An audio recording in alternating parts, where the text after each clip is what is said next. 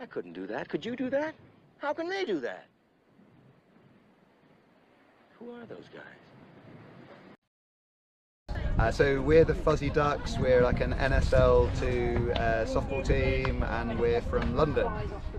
Uh, uh, well, we play in NSL2 on weekends, but we're also a uh, weekday league team. So we play in the London League, um, which is like Majors One of six.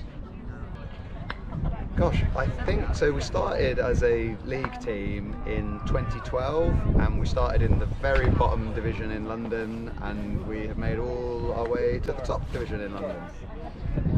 Oh, over to Uh, you, Ben.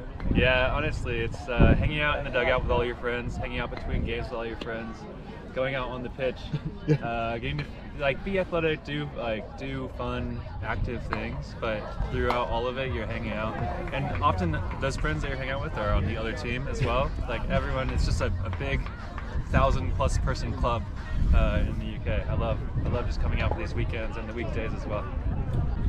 I- I can't. I mean, it's a mixed sport. It's for all ages, all abilities. You know, you'll find a team and a level and a great bunch of friends. So I can't. I mean, there might be. Prove, Um, prove us wrong.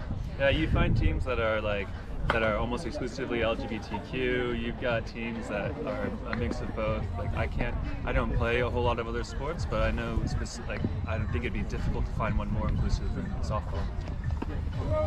I mean, yeah. I mean, this this facility here is amazing. When I first started playing here, there was none of this. Um, you know, it's so cool to be able to play on purpose-built fields, and if we if we had more of those, I mean, just personally, it'd be awesome. But yeah, I think that like people playing it coming up would would think there's more gravitas to the sport, and then when we go and play in other countries, when people who are of that level, they'd be more used to it. So I mean, Yeah, it has to be right. If we had more, it can only be good for, for everyone.